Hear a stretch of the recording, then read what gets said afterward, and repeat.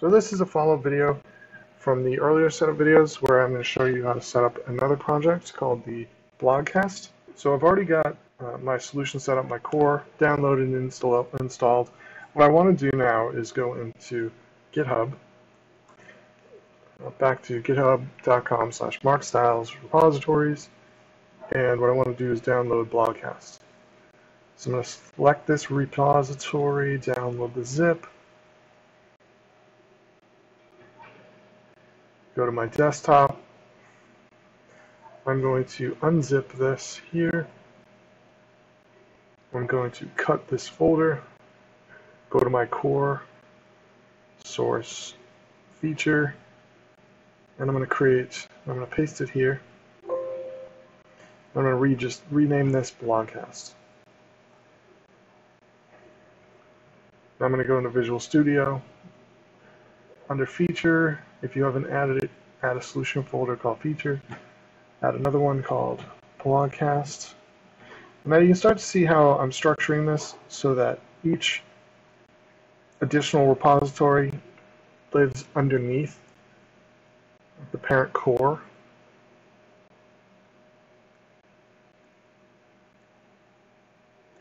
But the feature folder is ignored by the core and that allows each one of these to be its own repository without affecting the core, but still live in the same solution.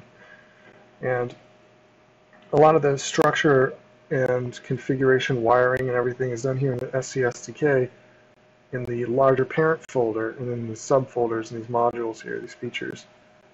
Only the things that are relevant to them live there.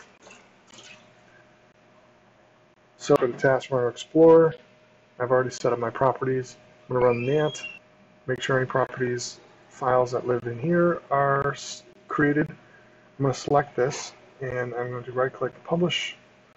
The deploy publishing profile is actually one of the templated files. So now that it exists, I can hit publish. It's going to publish to the same project, or the same running instance of Sitecore as the others. Now if I jump over to my instance, I hit refresh, so I'm going to sync that.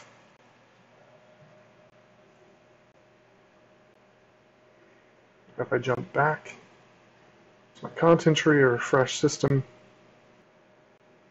now if I go to modules, Sitecore Cognitive Services, I won't see any changes here. And that's because that's not the service that I'm using. I actually created an item here for the Blogcast to home, and there's a layout and a rendering that run this. It's almost entirely a front-end feature. It does use the speech service, so what I do have to do is jump back into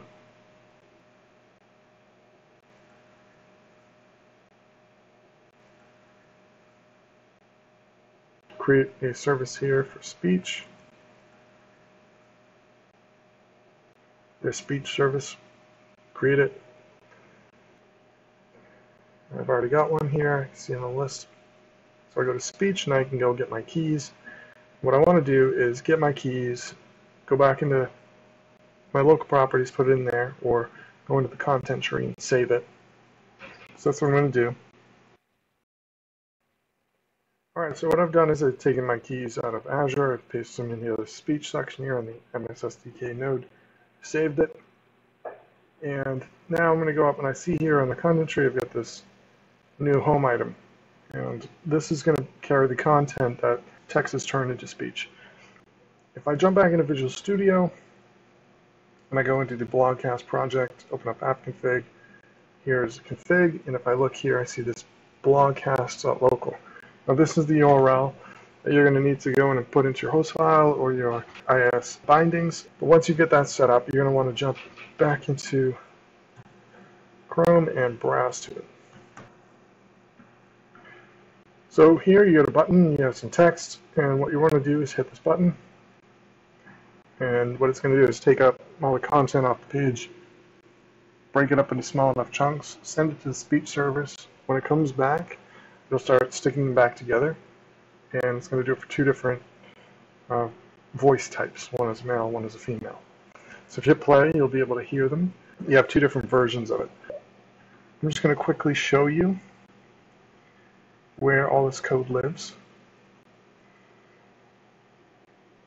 So all the Blogcast here is doing is it has a, a play button for the male and female, has an input, a form here, it just puts out the, the content from that page.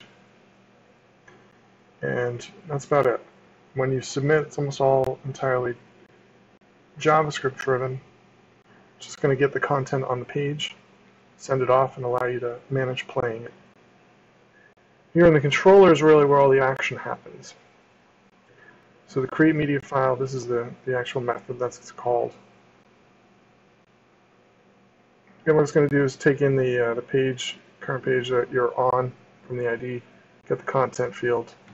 Uh, here I'm stripping out some HTML. I'm also stripping out sub and super tags. Uh, any content within them you don't want read as well. Basically down here I'm defining the two paths that I want to be able to create. I'm here, and I'm passing in here for different uh, people. And then it's going to create that file, and then I can send it back. You would set it up or pass it back or have it published based on the path uh, item or whatever you want on publish or on batch. And then you can turn your blog into a podcast with the use of Speech API services.